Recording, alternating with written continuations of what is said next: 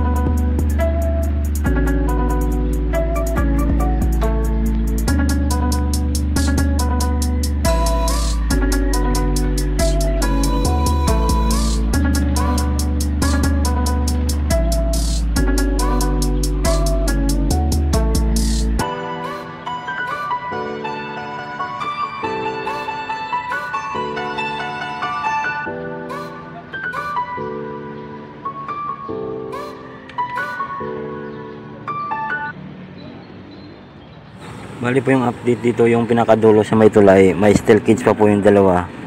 Dalawang poste. Tapos yung pinakadulo naman sa may bulungan, bakal pa lang po. Bakalan pa lang natin pinopormahan at bubuhusan. Bali yun na lang pong dalawang poste.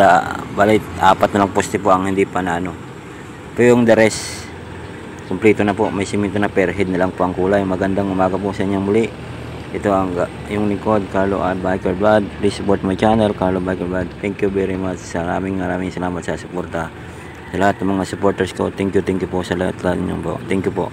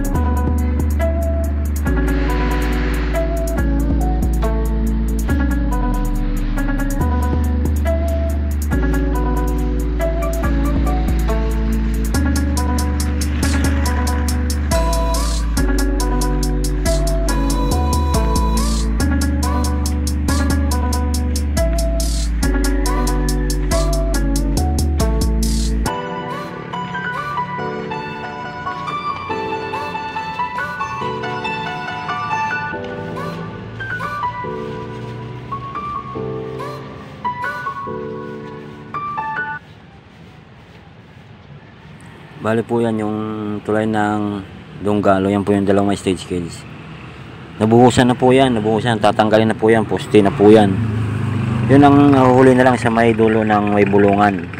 Bali bakal pa lang po yun. Nilalagyan pa lang po ng steel bar at puporman at bubuhusan na po. Yun na lang po nahuli. Ayan po sila lahat. Tatanggalin na. Lalagyan na po yan ng per head. Good morning, good morning po sa lahat. Maraming salamat. Good morning at isang mapagpalang umaga sa ating lahat. God bless po. Friday morning po. Friday morning update po. Ito po ang inyong lingkod. Carlo Biker Brad. Maraming salamat. At God bless. Sobrang thank you po sa inyo lahat.